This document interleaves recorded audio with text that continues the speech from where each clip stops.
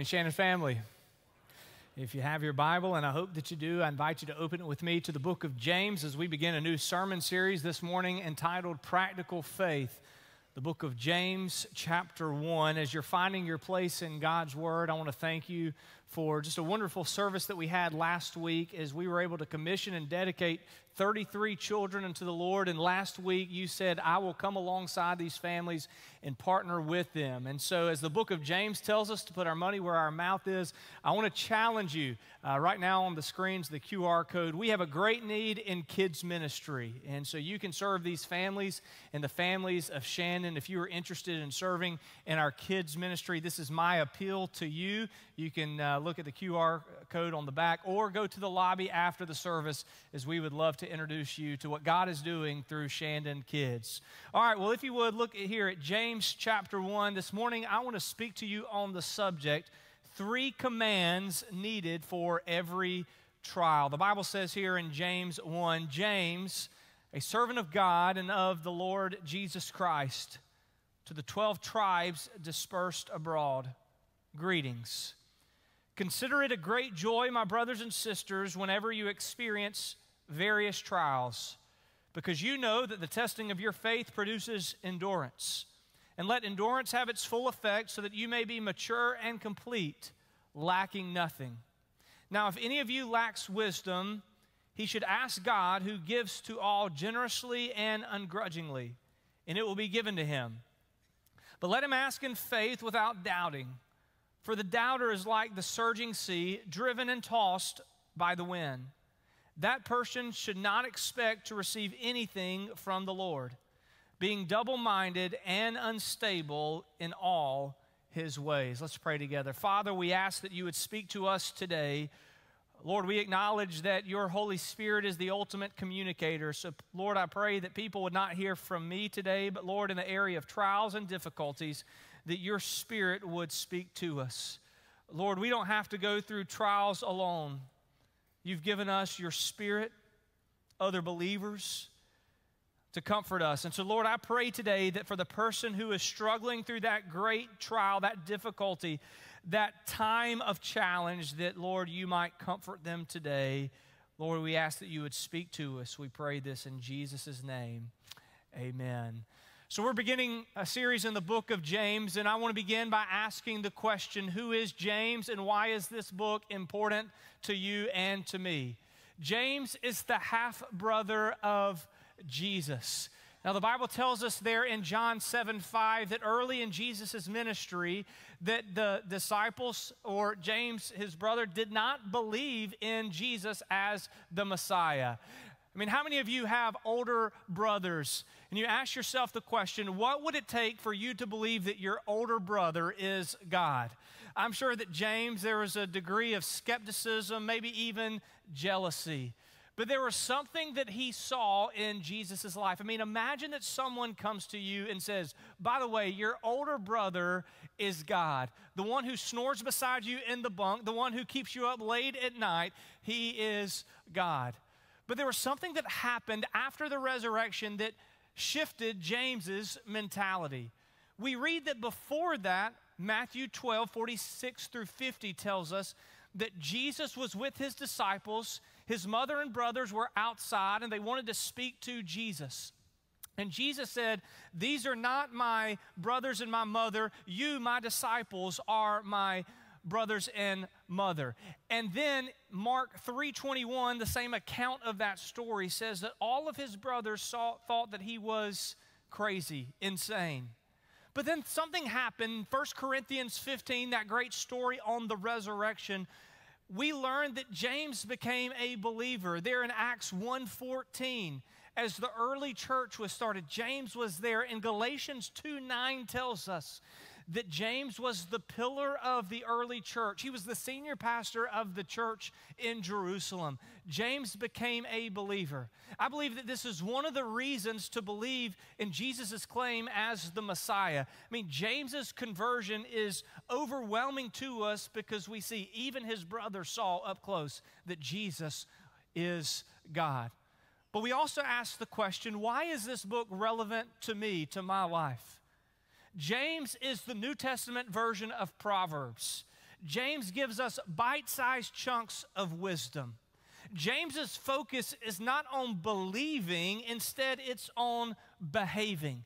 James is confrontational. It's in your face, it's upfront, and James is going to tell us don't just be a hearer of the word, but we're to be a doer of the word. One of the things that I find fascinating about the book of James, there are 108 verses, and yet there are 54 commands. That means that one out of every two verses you find a command. And the very first command that James gives us is this Consider it all joy, great joy, pure joy when you go through various trials. That's what I want to speak to you on today how we're to handle trials. This week, as I was writing on my laptop preparing for the message, I wrote in the word trials and autocorrect on the Word document changed it to trails several times. And I thought that's interesting because trials are trails. Trials will bring us closer to God, that road to God, or the road away from God. It's really our choice. And through five words as we begin this great book, we learn something about trials and difficulties. Look here at verse 2. It says, Whenever you experience various trials. So I want you to underline those words because in these five words, we see several truths about trials. First of all, that trials are inevitable. It says, whenever you experience various trials. It doesn't say if you experience trials, it says when you experience trials. You can no more avoid trials than you can avoid breathing. Trials are something that every Christian will go through. It doesn't matter how long that you've been a believer, how great your faith is, you will experience trials.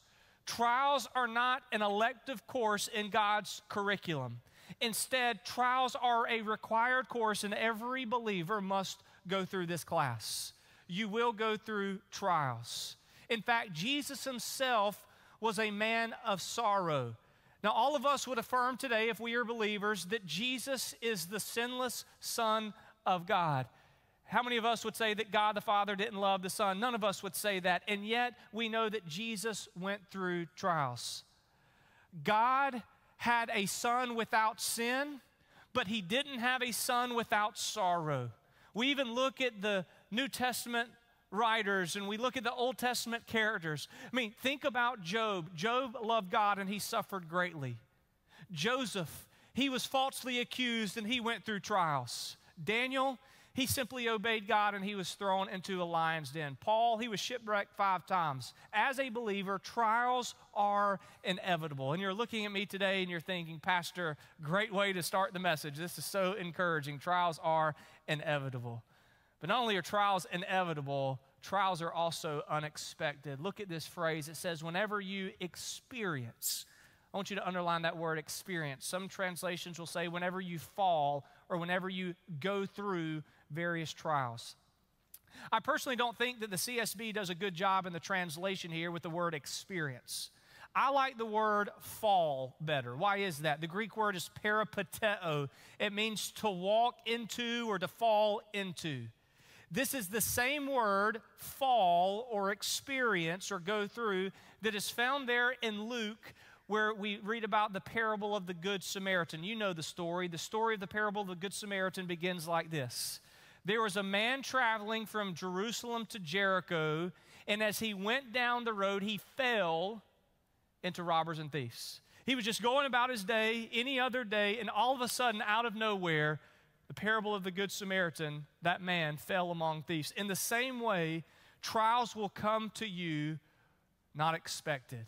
They don't call ahead, they don't knock on your front door, they walk through your door. You will go through trials, and those trials will be unexpected.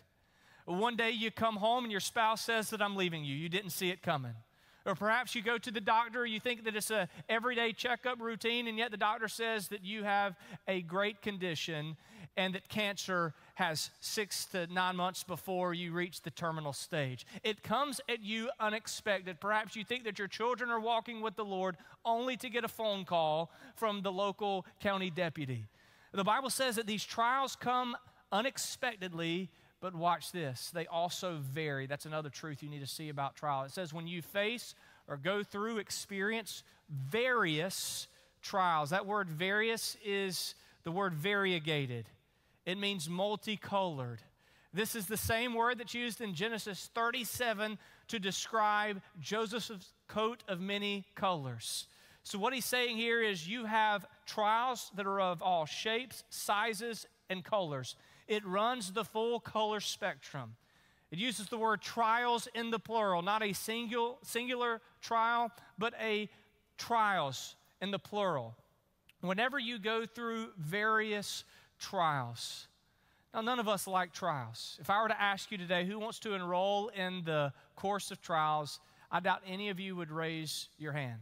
And yet, the Bible says that the emotion that we are to take through the trial is one of joy. How many of you, when you go through trials, you ask this question God, how long until you take me out of the despair? God, where were you in this moment? God, if you really love me, why am I going through this? Or perhaps we even say this Why is heaven so silent? I mean, it would be one thing if when we went through the trial and we prayed and we heard from God, but so often it seems like that God is silent. And we're thinking, where is God in this? I want to direct your attention to 1 Samuel uh, chapter 16. It's this story where David is just anointed as king. And did you know that there are seven years between verses 13 and 14? The Bible says that Samuel goes away, David's already been anointed. David could have walked into the palace, but instead, for seven years, there was silence. He could have gone on a book tour throughout all of Israel, but instead, he went back to the sheep as a shepherd. It seemed like God was silent for seven years. I mean, after all, David, the king of Israel, why would God allow David to go through something like this? And yet, it was in those seven years that God was instilling courage in David's heart so that he could defeat Goliath. It was in those seven years where he was preparing him to write Psalm 23. What I'm saying to you today is if you're going through a trial and God seems silent, silence is not indifference, stillness is not inactivity. God sees you. He says when we go through various trials. So there are three essentials, three commands that you're going to need for that next trial. That trial could be right now. You are going through the trial as I speak. This could be a trial that you step into tomorrow, and so you need this for the future. The first thing that James would tell us, the half brother of Jesus, when you go through trials, is that you need to come to the right perspective in your trial. Look at that word in verse 2. It says, consider. That word consider is a mathematical term. He's saying, consider the pluses and the minuses. There are some minuses with trials, but there are also some pluses. He says, come to the right perspective. You got to view this from the right standpoint. You've got to view this from God's way. Trials have a way of drawing us closer to God. When Cassie and I were dating, she was from Florida, and so I would go down and visit her and her family. And sometimes we would go to SeaWorld or Universal or Disney World. And uh, Cassie liked roller coasters. And so we would go on these roller coasters, but the really scary ones, here's what I noticed. She would lean a little bit closer to me on these uh, scary roller coasters. You know, in the same way, when we go through fears in life, so often we'll do one or two things. We'll go closer to God or we'll move away from God. He said, Consider this as pure joy. Now, let me be clear. No one in here wants to go through a trial. And the Bible is not saying that you should view the trial itself as joyful. None of us would want to go through a difficult time, a hardship, uh, where our heart is gutted. No one wants to do that. But it's a matter of perspective when you go through a trial, it's not based on what you feel, it's based on what you know. And what do you know? The Bible says in Romans 8 28 that we know that God works together all things for the good of those who love Him and are called according to His purpose. You've got to have the right perspective in your trial. Your trial may be hard today, and yet God's saying, I'm wanting to work something in you and I'm going to work through you in this trial. You've got to have the right perspective. But not only the right perspective, you also have to see the right purpose, the correct purpose. Trials do not always produce good things in you. I think it was the philosopher Friedrich Nietzsche who says that what doesn't kill you makes me stronger. Well, the problem is that he wasn't a believer, and not all trials that you go through will make you stronger. Some trials will make you weaker. Some trials will make you want to blame God, but he says you can't have that perspective. Instead, you've got to have a godly purpose. Now, we see the purpose of the trial in four words. I want you to underline four words with me in your Bible the word testing, faith, produces, and endurance. These are the four load bearing words of this purpose. That word testing means to push to the limit, to be pushed to the limit. That word faith means to trust in Jesus. Produces means to work out or carry out a test. And endurance means to stand up under. You put all of those together, and here's what James is saying. When your trust in Jesus Christ is pushed to the limit, God uses it to work out and strengthen your ability to stand under harsh situations. I don't believe that we as pastors have done a good job of preparing the church for trials, especially in the West and America. So often we think of this utopian society, but most of church history, we knew that the world was broken and, and full of, of difficult times. Uh, so often, as we look at prosperity and poverty, did you know that God's truth advances much quicker in times of poverty than it does in times of prosperity. North America is one of two continents where Christianity is not rapidly growing at a pace unlike some of the other places in the world. Why is that? we've been blessed with prosperity. Now, prosperity is not a bad thing as we're talking about material prosperity, it's what we do with it. But here's what I want you to see today a blessing is anything that brings you closer to God. Now, a blessing can be a trial if that trial brings you closer to God. You don't glory in the trial itself, you glory in what the trial does. So that's why James would say that consider it all joy when you go through various trials, knowing that the testing of your faith produces endurance. So, endurance is a good thing, perseverance, to remain in steadfast.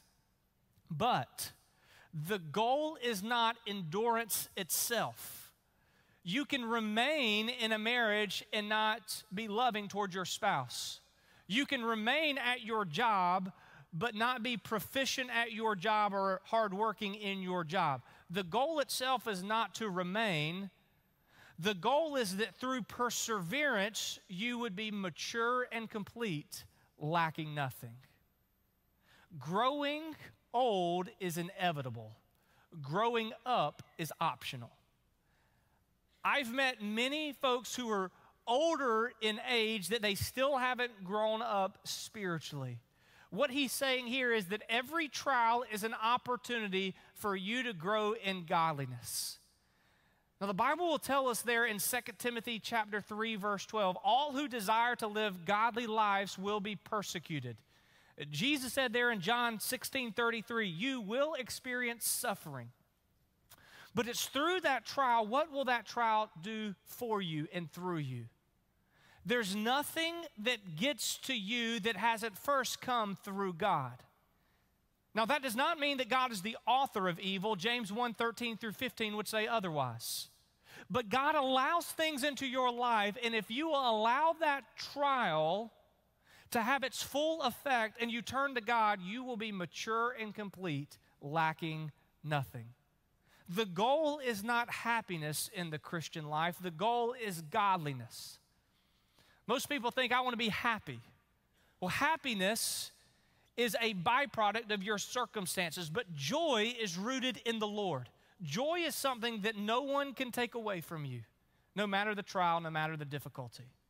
So he says, when you go through trials, first you've got to have the right perspective, then you've got to have the correct purpose, but then you've got to offer consistent prayers in that trial. That's the third command or essential. Look here at verse 5. It says, Now, if any of you lacks wisdom, he should ask God Now, someone's thinking, I've been praying for a long time, and God, well, God's not answering. Sometimes God says yes, and He says, help yourself to happiness. Other times, God says no, and He says, I'm protecting you from something or someone. And other times, God says, wait. That time of waiting is a difficult time. And sometimes we have a hard time making a distinction between the no's and the waits. And only time will tell if that no is a wait or the wait is a no. But here's one thing I want you to know from Revelation chapter 8 that all prayers that are according to God's will will eventually be answered. Now, I didn't say that all prayers will be answered the way that you wanted them to, but all prayers that are in the direction of the will of God will be providentially answered according to his sovereign will. But we must continue to pray. Why? Because when we pray, we are trusting in God. I heard Tony Evans, he gave this illustration. He said that many Americans are aware, uh, are aware of mutual funds. Uh, many of you have mutual funds. Now, what is a mutual fund? It's when you take your assets and you divide them out among various companies so that if one company doesn't do well, that you still have a good portfolio. That's a good financial strategy, but that's a bad way to approach God. We must lean into God with all that we have. It's not a mutual fund approach. It's that we go to God with all that we are and we pray and we seek Him even in the trial. But He says, when you pray, you must not pray as a doubter. Several times, at least two times in this passage, it talks about praying in faith, not as a doubter. And it says that the doubter is like the person who is tossed to and from in the sea by the wind. And I thought about the difference between doubting and, and being a person of faith. You know that Hebrews 11:6 says that without faith it's impossible to please God. But have you ever considered who is the author of doubt and how often doubt is brought up in the Bible? I was recently studying about Satan himself, his ways, his tactics. Did you know that there are only three times in Scripture where Satan is recorded as speaking? And in all three occasions where Satan is recorded as speaking, he uses the scheme of doubt. Say, what do you mean? Well, there in Genesis chapter 3, we know Adam and Eve in the garden, that Satan comes to them and says, Has God actually said? I've often told you that so often Satan will put question marks where God has put periods. There in Genesis 3, Satan wanted Adam and Eve to doubt God's word. Let me take you over to the book of Job. Do you remember where uh, Job he is tested, that it says that Satan comes before God. We don't understand all the details of what's happening, happening there in Job 1. But Satan is trying to get Job to doubt God's goodness. Then we come over to Matthew chapter 4, there in the wilderness, where Jesus is there in the wilderness for 40 days and 40 nights. And Satan, he is recorded as speaking there, and he wants Jesus to doubt God would provide for him. The only three times in Scripture where Satan is recorded as speaking, he is the author of doubt. Doubt does not come from God, doubt comes from Satan. He wants you to doubt God's goodness, doubt God's promises, doubt God's trustworthiness. So that's James's point here when he uses the word in verse 8. He says, being double minded and unstable in all his ways. That word double minded is the Greek word di psychos die too psychos minded, too minded. The idea is that you come to church on Sunday and say, Hey, I'm here to praise God, and the rest of the week that you live for the world. You come on Sunday and you say, This is the week that I'm going to give God my finances and start tithing and giving unto the Lord. And yet on Monday, you're looking for ways to cheat on your taxes and that you're not a good employer. Die psychos.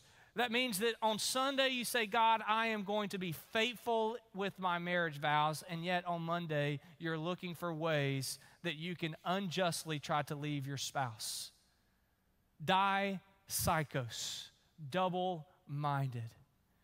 James says that when we pray, we can't be like the doubter. We can't be like the person who is double minded. Instead, that we have to trust that God's going to use this trial to work about his ultimate purpose. I was reading recently from Tim Keller, the late pastor who is now with the Lord. And he tells a story about Emily. I thought rather than to tell you the story of Emily, I might read her story. Because she was caught up in a situation that would be a trial, a dipsychos moment.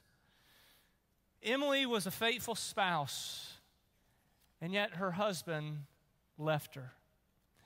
Let me read in her own words from a journal entry what Emily said. Emily said this she said, If you had asked me what I was thankful for before September, I would have said that I am thankful for my family, my home, my job, and for God. For a husband who loves and cares for me, for four children, ages 14, 11, 9, and 5, who are healthy and happy, for a home I never dreamed I could have, for a career that I love that allows me to work from home.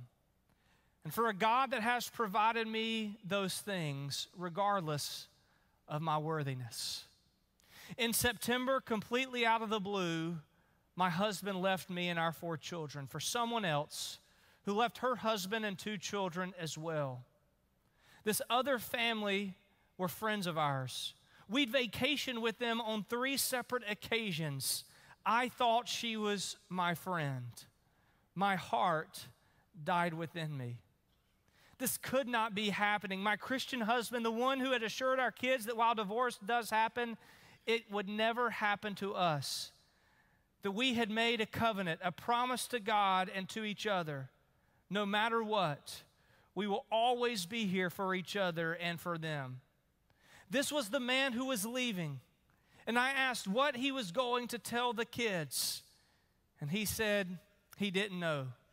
And I told him, You can't just leave without telling the kids something. Surely I thought this would hit him. And he would not be able to look at these precious children and tell them that he was leaving. But he did. He called them back downstairs from bed and told them he was leaving. And they didn't understand. Was this for work? When will he be back? No, kids, I'm moving out, not to come back. He left. We were crushed. God, is this really your plan? How could this be your will for our lives? I know that you will heal my heart. I know that something good will come from this, but, but how? I've never been so angry. Our poor children are suffering terribly. Their father's wants come before their needs. He says, I still love my kids. Really? How can you love them and cause them such pain? the next journal entry. After four months, God is beginning to heal me in a way I'm not sure I wanted to be healed. I want to see justice, but it is not mine to inflict. I am beginning to try to pray for him and not just about him, for him to come back, not to me, but back to God. I have to forgive him to get through the bitterness. But how am I going to make it? God says, pray, so I do so. I'm praying for a miracle, for him to snap out of this and find his way back home. But I am also moving forward without him. And then the final journal entry. It has now been six months. My situation has gotten worse, and yet I feel truly blessed. My husband is still gone, still with his girlfriend. He told me that they will be a part of our kids' lives, and I need to get used to that and not hate her. He told me that if she is my enemy, then I am his. My kids are still dealing with the impact that their dad left. They are depressed, angry, confused, and frustrated. My oldest has started questioning his faith. He is rebelling against all authority and lashing out at his family. My house is up for sale, a short sale which could turn into foreclosure. And yet, in the midst of all of this, I have come to know God on a different level, to see Him work in a way I'd only heard about, to experience this is quite amazing.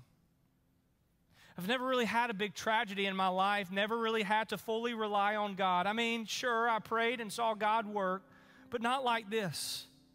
Before, when I needed God's comfort, the image in my head was me clinging to Jesus and Him hugging me. My image now is me completely collapsed and him carrying me and it is awesome. In the midst of this horrible situation, I see glimpses of what God is doing and how my life and our lives will be changed. And I get so excited to see who I get to be at the end of all this. Like being in a race where it starts to rain and you hit a mud pit. You can't go around it, you have to go through it, and the rain and the mud are weighing you down, and you can't go through it fast. You must concentrate on each painful step. But at the same time, something is keeping you upright and compelling you to continue. In the distance, you see what appears to be a sheet of rain, almost like a car wash rinse, and then you see it, the sun. It is perfectly clear. The person you will be there will be stronger and filled with peace. I can't wait to use what God has taught me. I've explained it to my children like this In every fairy tale, there's always a tragedy. And the protagonist faces that adversity, overcomes it, and thrives because of it. God is giving us our fairy tale. Can you see him there at the end? As I heard about Emily's story, I began to think that is what James is telling us. I mean, trials are inevitable, trials are unexpected. She didn't think that her husband, or they had four children together, was going to leave her for the person that they would vacation with. And it was multicolored. And yet, because she applied James 1, of not only seeing the perspective from God's perspective, seeing the purpose, and then offering consistent prayers, she could say that God is healing me. Now, for you today, it may not be a spouse that has walked out on you. It could be a medical diagnosis. It could be that you've lost your job. It could be wayward kids. But the trial is just as real. And what God would say through James, the half brother of Jesus, is you don't have to rejoice in the trial per se, you rejoice in what the trial produces in you. You come at this from God's perspective and say, God, heal me. God, help me. God, as I'm growing old inevitably, help me to grow up spiritually. And you lean on God, not a mutual fund approach, but you're all in on Jesus. And He will heal you here in just a moment that we are going to pray. But before we do that, there may be someone here that you've never received Jesus as Savior and acknowledged Him as Lord.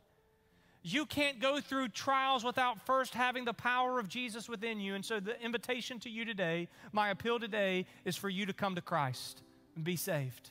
If you don't know what that looks like, step forward during the invitation. One of our pastors and leaders is here to talk to you. We also want to pray with you because in a room this size, there are some of you who you are carrying a trial that is so heavy and burdensome. And yet, Jesus would say that my burden is easy and my yoke is light. Jesus would say, Come to me, all who are weary and heavy laden. The Bible says in the 59 one another's in scriptures that we're to bear one another's burdens, to pray for one another. So if you're going through a trial of some kind, I don't know what that trial looks like. But would you come and let us pray with you today? I imagine that it may be an elongated time of response because there are trials, heavy trials in this room.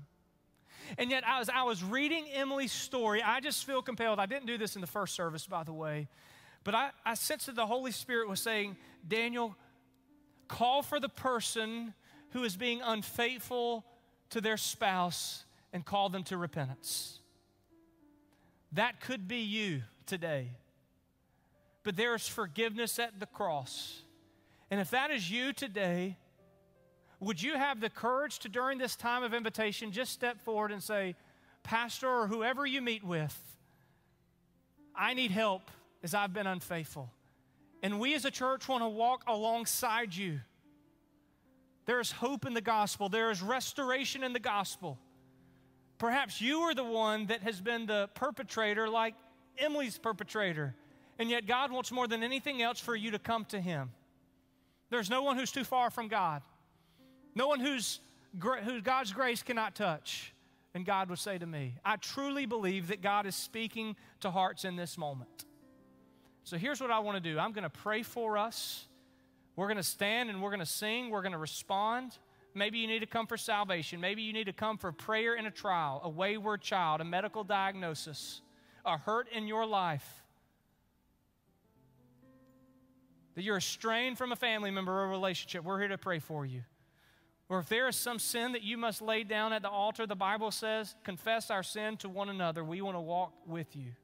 But God's Spirit is speaking right now. Where the Spirit of the Lord is, there is liberty. And God speaks by His Spirit and through His Word. So I'm going to pray, we're going to respond, and we're going to see God do work in this moment. Lord, we pray right now for the person who is burdened with that trial, whatever it may be the loss of income, a cancer, failure, a strained relationship. Lord, would you minister your grace in this moment as we pray with one another? Lord, for the person, Lord, who is walking in sin, Lord, I pray that they wouldn't hold on to that sin. You are much greater than any sin, and there is forgiveness, there is hope in you. Our identity is in you. So, Lord, that person, would you give them courage to step out? If it's been years long that they've been holding on to uh, an affair, Lord, and they've just kept it in, Lord, I pray that you would bring about freedom in this moment. Lord, for that person, Lord, who needs to be saved, that they don't know how to experience true joy, Lord, would you work among us? So, Lord, let there be freedom in this place the ability to respond to you. We want more than anything else your presence. So, Lord, work among us, we pray, in Jesus' name.